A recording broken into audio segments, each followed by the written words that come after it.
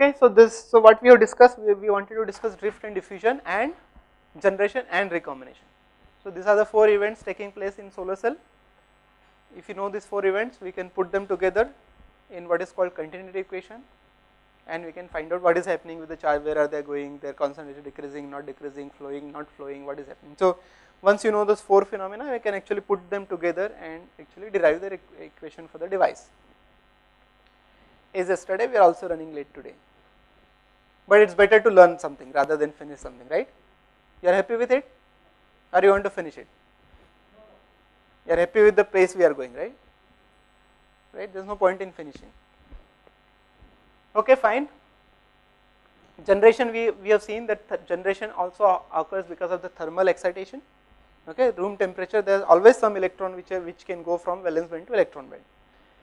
But the generation we are we are interested is because of the optical excitation. And we know that in my solar spectrum there are enough photons of high energy which can excite electron from conduction valence band to conduction band because the energy of those photons is from something like 3.5 electron volt up to some like 0.3 electron volt. So as long as the energy of the photon is equal to or greater than the band gap, it can absorb, it can give energy to one of the electron which can go there. Normally you have in the room temperature the field conduction band, all energy levels are occupied by electron and empty valence band, there are no electrons here. Thus we have seen yesterday if photon energy is less than the band gap, the, the material is transparent and we lose something like 23 percent of our energy because of this forced silicon. Okay. So, what is the solution if you want to reduce the transparent uh, tra this losses? What is the solution? What I am saying is silicon is having band gap of 1.12 electron volt. Because of this, all photons having energy lower than 1.12 electron volt are transmitted. Now we want to reduce the transmission losses. So what is the solution?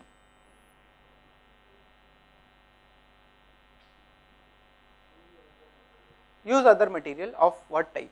Use other material, yes, of what type? With reduced band gap. Use other material with the reduced band gap so that, so what is the reduced band gap? Ideally 0.3 electron volt. If I use a material with 0.3 electron volt band gap, all photons are going to absorb. Wonderful everything is getting absorbed, nothing is transmitted. But we do not do that. Why? We will come to that. This is one question to be answered, right. So, the lowest possible band gap material suitable for our solar spectrum, our sun. If you go to some other galaxy, maybe things will change. You know, our sun, this is the spectrum. For that sun, our the lowest possible band gap material that we should use is 0.3 electron volt and there are materials which are having 0.3 electron volt, but we do not do it. Why? We will come back to that. What?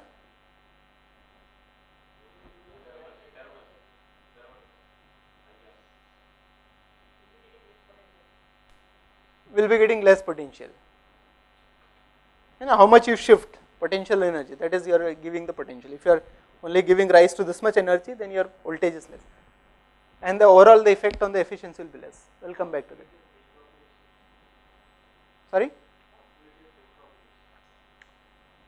That all other effects are there, possibility recombination, uh, uh, Ni will be higher, your saturation current will be higher, things like that. All other effects are there, but the most important effect is your voltage is going to be very less.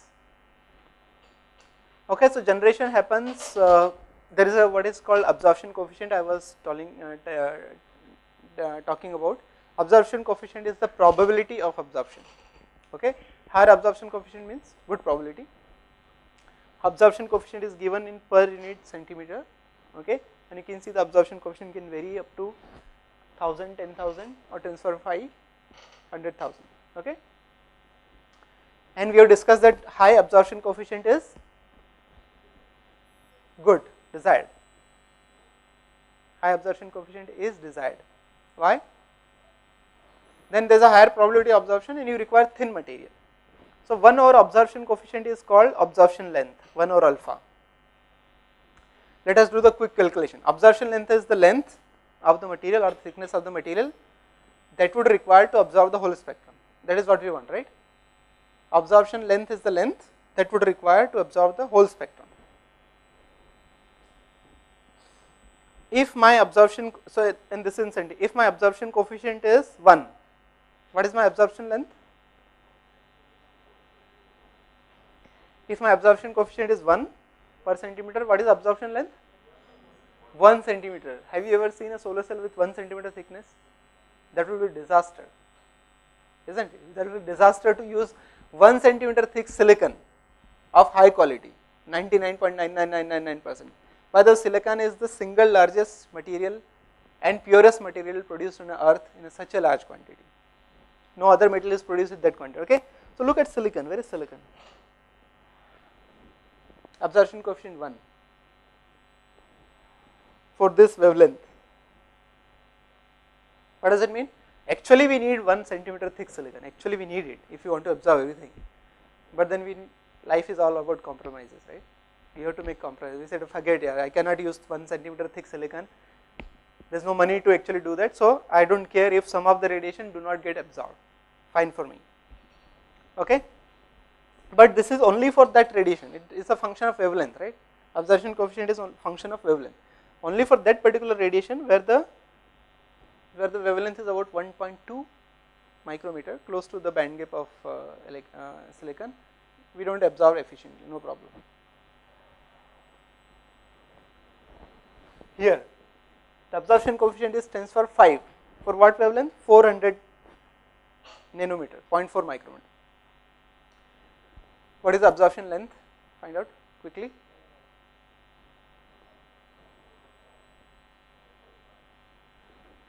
tens for minus 5 centimeter which is how many microns?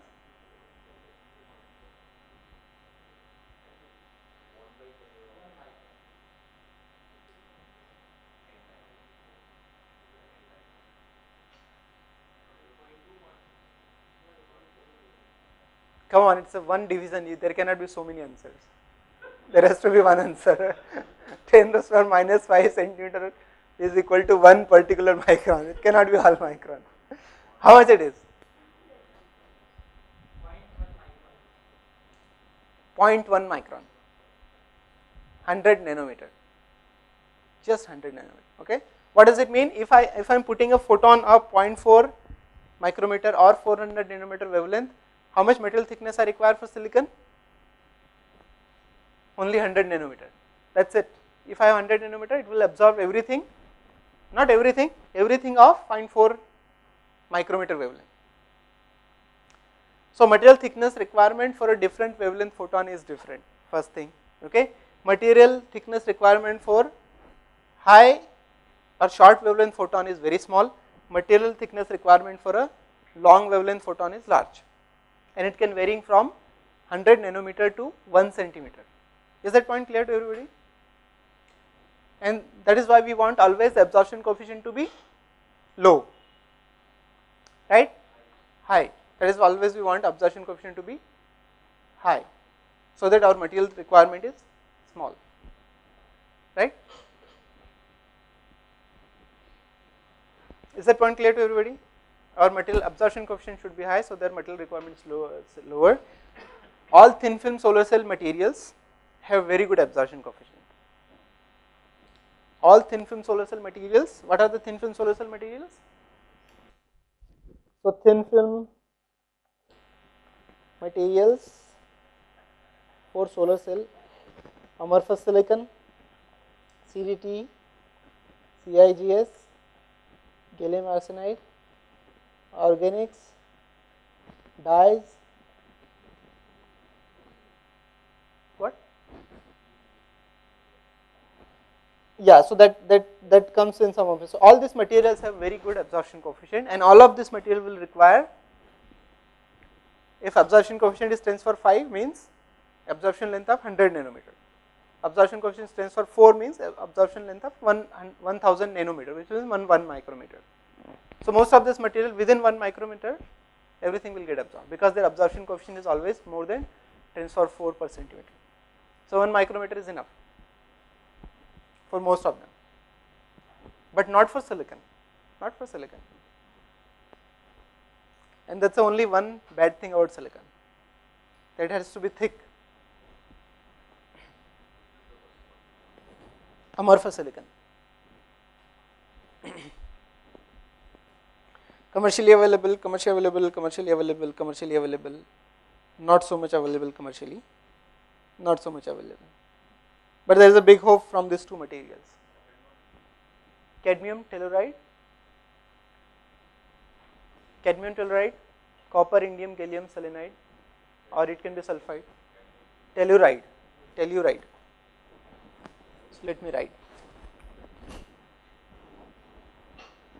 So you have amorphous silicon, you have cadmium telluride, you have copper, indium, gallium, selenide, you have gallium, arsenide. Organics actually there are many materials, some of the names I also do not know and the dye sensitize because they are thin, simple. no, I mean really that is the case because they are thin. You know why? Because as I said their absorption coefficient is high most of the time more, more than 10 or 4 per centimeter and therefore absorption length is 1 uh, is about 1 micrometer that is it. And they are so when the material requirement is so thin uh, you need to always deposit on some other substrate as a so the, all of them are deposited not grown like silicon. Silicon wafer is grown in the ingot and then diced this is never done like this you always deposit on some substrate and because they are very thin I mean normally referred as thin film solution.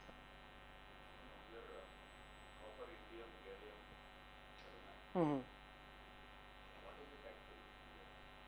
It's a quaternary compound. There's a copper, there's indium, there's gallium, there's selenide sitting there, all of them. So it's a compound semiconductor put together. Uh, so as I said yesterday, there are people use elemental semiconductor like silicon or people use compound semiconductor like two of them cadmium and tellurium together, gallium and arsenic together or people put four of them together or three of them together or sometimes five of them together to get the best optical and electrical property.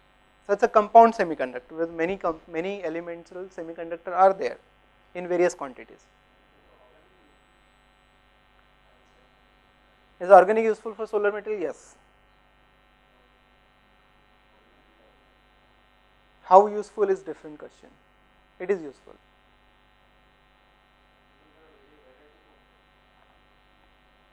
So these are all, so when people started working on thin film technology, by the way, the all thin film technology materials are very bad as compared to crystalline silicon, very bad. But yeah, because they have the potential to be low cost, because they are very thin in the amount. Imagine crystalline silicon at 180 micron and thin film at 1 micron. So the material requirement difference is huge, right? And therefore all the thin film technology are potentially low cost technology. They are not necessarily low cost technology, they are potentially low cost technology. Yeah, so that is why there is, there is potential if you solve some problem, you become billionaire and you solve the stability. So there are many ways to become billionaire if you are working in solar cell. And in my lectures to my student, every day I give them one problem which they can solve, they become billionaire. Just one problem. There are many of such problems are there. So you solve stability problem of amorphous silicon, I guarantee you that you become billionaire. Okay, fine. So absorption coefficient for, for look at the gallium arsenide, where it is. Gallium arsenide is this. This is the band gap of gallium arsenide and then after that it is always about tensor 4 which is very thin. Gallium phosphide very high at the band gap. So there are many materials, thin film materials actually require very small quantities to absorb everything. One reason silicon is bad is because of this nature of its uh, electronic band arrangement. Okay.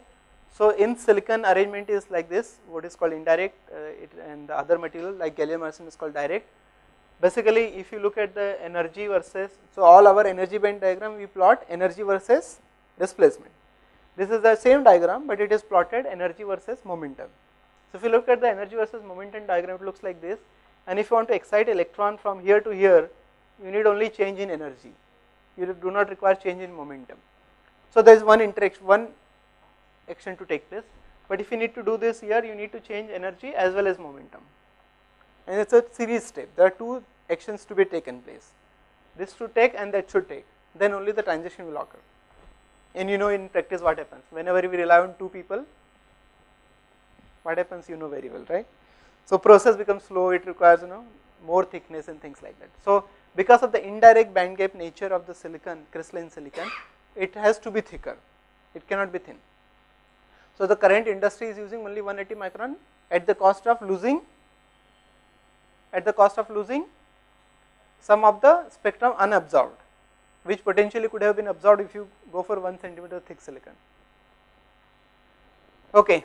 So absorption probability is low and therefore it has to be thicker, a high absorption probability therefore it has to be thinner. The recombination, as I said, there are three mechanisms: band to band, trap assisted, Auger recombination. Uh, this is less common in solar cell. It can happen only at high concentration because three particles are involved, right? Three people are involved. This has to be there, this has to be there, that has to be there. Okay. So more people are there, then only so more particles are there, then only this happen. Which means more doping is there, then only this can happen. In silicon this cannot happen because direct transition cannot happen, direct recombination also cannot happen or very low probability. So this can happen. So this is one of the most common way of coming down the recombination. Uh, and you can very simply way you can write the expression for the recombination. Uh, for example, if you are writing the expression for the band to band recombination, it is proportional to it is proportional to how many electrons are there to recombine and how many holes are there which can be taken place. So it depends on both number of these and number of these. So n and p. And minus ni square is the opposite reaction that is taking place, that is the generation that is taking place. Auger recombination will depend on 3 people, so it depends on n and p square, 2 of the holes or n square and p, 2 electrons and 1 hole, either case. So because it depends on 3 particles, therefore 3 terms, depends on 2 particles, therefore you have 2 terms and then you have the trap assisted recombination. How many defect energy levels are there that will determine. So it will depend on this, it will depend on this, it will depend on how many trap energy levels and so on. And you can write the rate of recombination as a function of the capture cross section, the number of defects, etc. Again, this is a very complicated theory. People have been doing it over a, over a period of time uh, to give actually the rate of recombination. Let me quickly give an idea of the junction. So normally when we start, we start with the uniformly doped substrate, okay. We start with some uniformly doped substrate and then we dope with the other atoms. So this becomes then, this is acceptor atom which is p type, donor atom which is n type. So this part becomes n, that part becomes p and that's how we get a p-n junction. the band diagram we have seen yesterday, this is the p type semiconductor, this is n type semiconductor put together you get a p-n junction. What do you see here? Straight line. Straight line. What do you see here? Not straight line. What is the meaning of not straight line? Electric field, non-flat. Whenever bends are bended, which means electric field, which means does electric field exist at the junction, not everywhere else. Only at the junction, everywhere else a flat. what does it? What does it mean? There's zero electric field. What does it mean? what happens to the drift current here? 0? no electric field, drift current 0, so mainly diffusion current. What is happening here? Drift current 0, mainly diffusion current. What will happen here? There should be a drift current, there is electric field. In reality, this is not the case. In reality, what happens? There is very small electric field. So we, we don't call it a neutral region, it is called quasi-neutral region. It is not really charged region, but it is called quasi-neutral region. There has to be some drift happening, very, very small. But still because the majority carrier concentration is so high, you know what is the equation for drift current? Q n mu E. Because n is very high, small e will also cause a lot of current to flow. Got it? The expression you have the charge carrier concentration and electric field. Even if electric field is negligibly 0, negligibly 0 but not 0, very close to 0 but not 0, then also there can be significant uh, drift current because of the because of the large carrier concentration. but the diffusion current can only flow when there is a concentration gradient. Magnetic carrier will not carry the diffusion current because of the drift, but they will carry the diffusion current, current because of the diffusion. Okay. So actually when we go into the details of the derivation of the IV equation for the PN junction, we actually look at all those parameter which we do not have time. In our December course, we will do everything step by step. We will go step by step from one step to other step till we get hold of solar cell equation.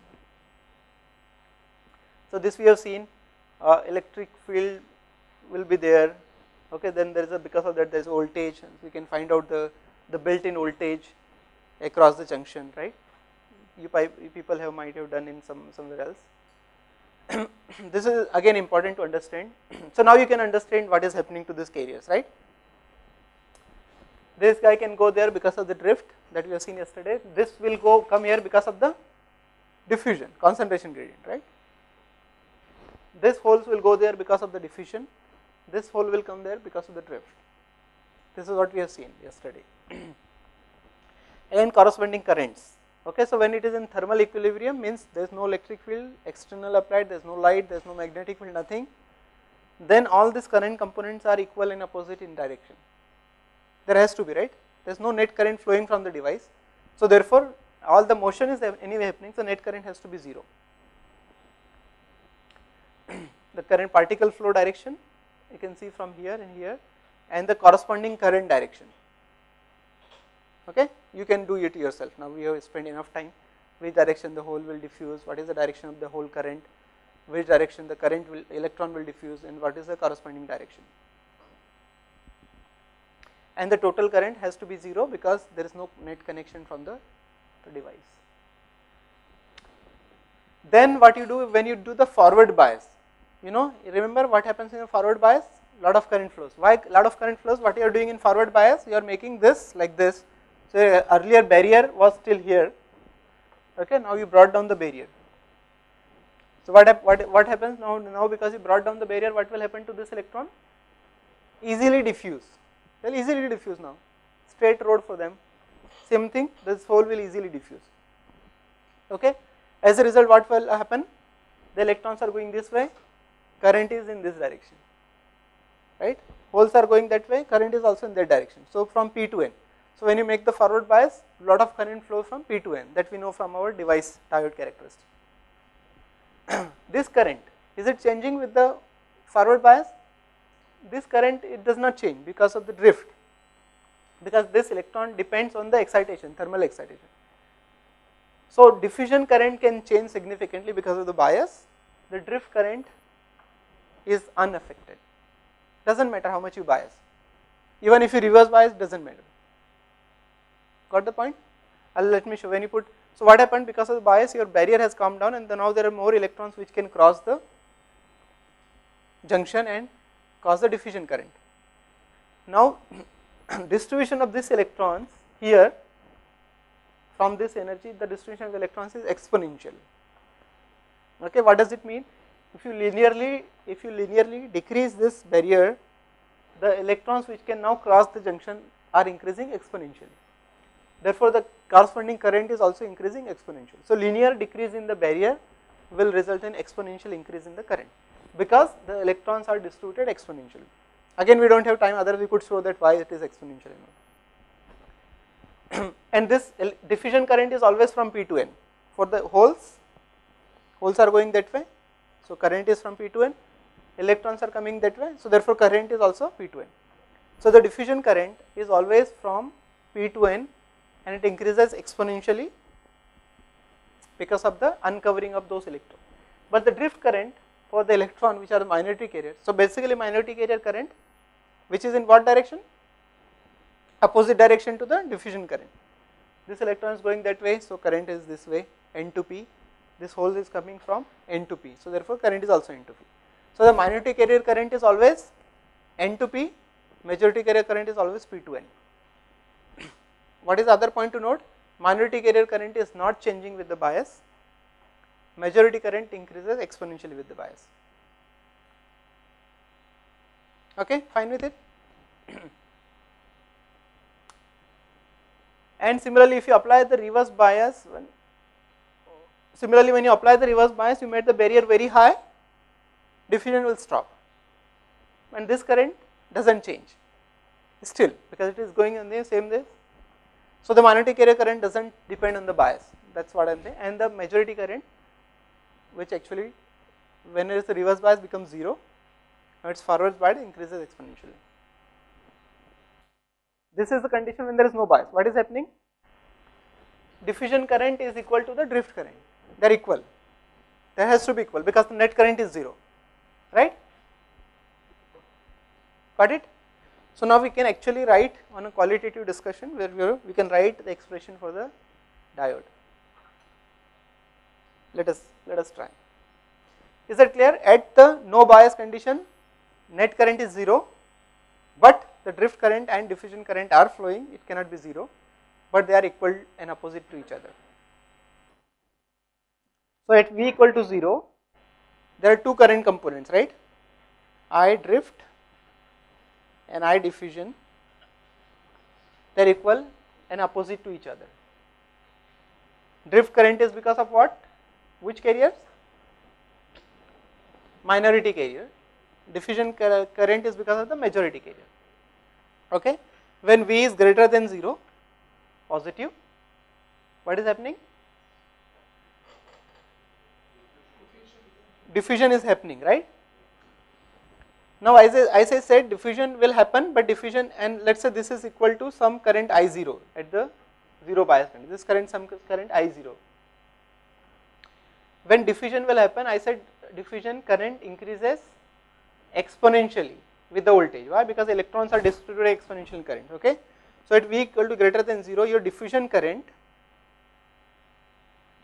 will be equal to some I zero, some constant proportionality constant or let us say it is proportional to QV by KT, some voltage and some constant and the proportionally constant because at the equilibrium it is at I0 so proportionally constant can be I0. So your drift current is diffusion current is this sorry for voltage V equal to greater than 0. Right?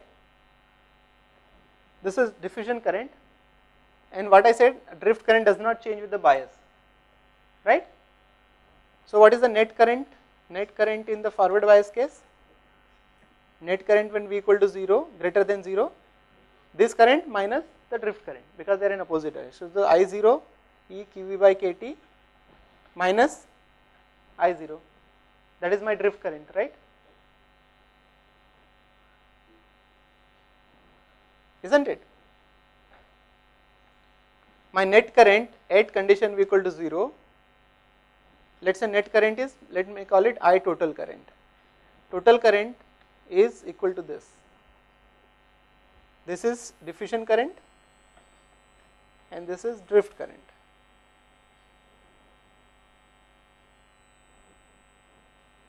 right. So therefore my I total is nothing but I 0 e raised to power q v by k t minus 1.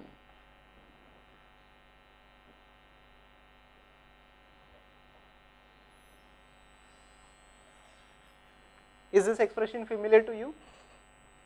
Is this expression familiar to you? Nothing but a diode equation, right? So this is nothing but I equal to I0 e raised to power QV by KT minus 1. This is a diode equation. And V is equal to very negative reverse bias, this term will become 0 and you have only minus I0. So it, this equation very well satisfy what happens in my diode. And if I plot this equation, you have this kind of a, this is current, this is voltage. Okay. So by putting just argument, what will happen to the electron flow and hole flow and what will happen to the drift and diffusion as a function of bias, we can simply write that the device should behave as we have written here. At v equal to 0 both the currents are equal and opposite and we have given equal name some called I0. In the forward bias it is proportional to the voltage and some constant so QV by KT and therefore forward bias diffusion current is this and the, this current is always flowing but in the opposite direction always drift current is always flowing in the opposite direction. So therefore net current is this current minus drift current and therefore the overall equation is this. So this is what I said and this is what we have derived exactly the same thing. Now let us put some light on it. So once you put a light additional things happens. Okay additional things happens. In addition to this these things are extra right. So carriers will be generated everywhere and this will go there and you will get the lot of electrons here, you will get the lot of holes here. And uh, one important thing to note that this electron because this band is flat okay this electron has to go there before it gets separated but why it should go there there is no there is no electric field why it should go there it can go here also Ah, but it cannot go, I mean, so this band is very long, okay, electron. So when it is generated one point, it can go anywhere. It can go this direction or that direction. If it comes here, definitely it will go there, no, no doubt about it. So what does it mean? Electron, if it is very far from the junction, may not actually go there and, and before going there, it may better come down here, recombination. If this process does not occur in seconds, microseconds, but not second, microseconds time, then it recombines. So there is a two process happening, one is charge separation, other is recombination. Depends on, it depends on which one is faster, that will win, okay. If the carriers are generated very far from the junction, it may take more time to go there and if the time is longer than the recombination time, it will recombine. So therefore, only carriers generated only uh, certain length, then only it is separated and contributes to the current. It is called the diffusion length. If the carriers are separated in which carriers? Minority carriers. I am this is n type, I am talking P. Only when the minority carriers are separated within the diffusion length, then only it separates. Otherwise, it die out, it recombines, it becomes dead and that photon is wasted. Okay. So, not electrons generated everywhere will contribute. Okay. I think it is not clear, but if I draw the appropriate diagram, it will become extremely clear. PN junction, I am trying again the PN junction, is my Fermi level.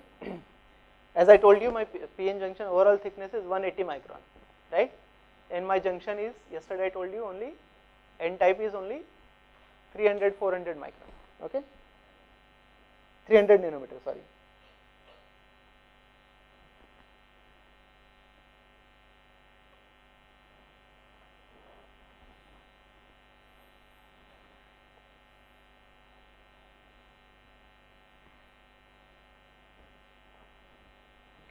Okay, this is how my junction in reality looks like.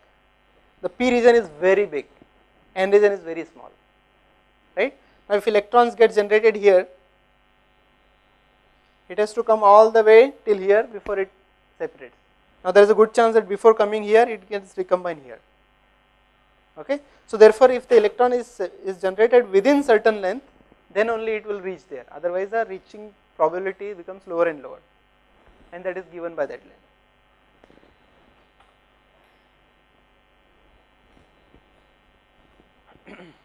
So that is what will happen and this is the, the diffusion length for electrons, diffusion length for the holes. Diffusion length is the length electrons or holes travel before it dies, before it recombines. You get positive, okay. So what is happening, your junction is automatically getting positive, uh, positive bias, forward bias. What does it mean? If it is a junction, it is a forward bias, will the forward bias current will flow in solar cell? Will the forward bias current flow? It normally flows in the PN junction diode. It will not flow. And if you think like that, you are wrong. It has to flow, it is a junction, right? How does it care? As long as it is getting forward bias, physics should follow the rules. Physics only said, okay, whenever you get forward bias, there has to be diffusion current. So even in solar cell, because it is automatically getting forward bias, nobody is doing externally, right? Why it is getting forward bias? Because of the light falling on it. So because of the light falling on it, it is getting forward bias and therefore forward bias diffusion current must flow and it does flow. It's just diode. So forward bias diode, right?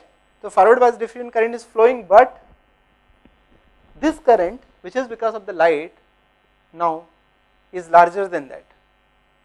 So forward bias current will flow from where to where? P to N and this current is because of what? This extra carriers which are coming in because of the light and the direction of that current is N to P. so because it is forward forward bias current does flow but the reverse current is bigger. The reverse current which is because of the light and it is called light generated current is bigger, right. So now I can actually draw, I can write my ex expression for the solar cell. My solar cell should behave like a PN junction, there should not be any exception, right. It is PN junction, it is getting forward bias. So my solar cell should also behave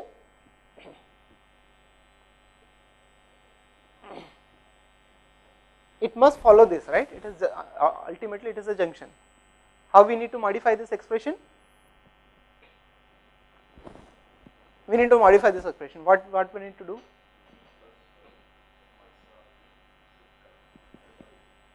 you, you have to take care of the extra current that is being generated now which is because of the light. In my in your diode it is all encapsulated there is no light so no extra current. And this this light this is and because it is just getting forward bias like a PN junction right? So it should follow the same forward bias current right? Same is here. But that additional current component which is because of the light should take care of. And that additional current component is in what direction? In opposite direction. So I should actually put a negative sign here and put another component which is L light generated current. And that is it. This expression becomes solar cell equation. Nothing else. You derive it with whatever your fundamental principle eventually you will come to the same expression. That this extra current component which is in the reverse direction of the normal diode current flow is needs to be added when the light is falling on it. Okay? This current component is coming because of the light this voltage is also coming because of the light but it is as if my diode is forward bias. So this current component is nothing but a forward bias current in my device and this current component is a light generated current. Okay so that's what i said. Uh, this current component uh, now this is again uh, this the whole expression is i0 the whole expression i0 we have not done the derivation. If we do the derivation we will find out this. But this is this is a very important part of the equation. Okay normally when diode equation say i0 e q by kt i0 is the most important part because that determines everything. The whole efficiency game depends on these parameters. So what is the parameters? Diffusion length very important. Uh, diffusion coefficient very important. Diffusion length very important. Then your uh, carrier concentration is very important. Then you get the lifetime of the carriers very important. So all material parameters are incorporated in this expression. All material parameters. You know whatever will change from one manufacturer to manufacturer whatever will change from one material to other material everything is part of this expression so this is very important expression in short what we call it I0 or reverse saturation current and this is normal expression Q by Kt and this is your IL light generated current. This is your IL light generated current. It is very simple to derive this expression. G is the generation rate, the number of electron hole pair generating in a volume. Uh, what is the volume? A is the cross section area and that volume, right? This volume. So cross section area is A and this is the volume. Ln plus W plus Lp. These are the carriers which are contributing. So A times this, this is the volume. So rate of generation, rate of generation G is the number per unit volume per unit time. You multiply with the Q, so you get the charge per unit volume per unit time and you multiply the volume which is A times this. So you get the current, light generated current. Okay. and therefore you get this is your equation normal diode equation and as we discussed this is your solar cell equation and solar cell because it operates in the fourth quadrant current negative voltage positive power is negative therefore it is a power generating device if it operates here. So the solar cell equation is same because our expression is also same only thing is there is a large negative current flows and therefore because of the large negative current it goes in the reverse bias case and should operate somewhere here. Okay. So you understand what, uh, so we still we miss some points. So we have not done the actual derivation. If you do the actual derivation, you will find each and everything, why diffusion, how much diffusion, where it is happening. And eventually you will of course have the efficiency. So, you write this in the fourth quadrant and you can write the expression for the, this we have discussed yesterday.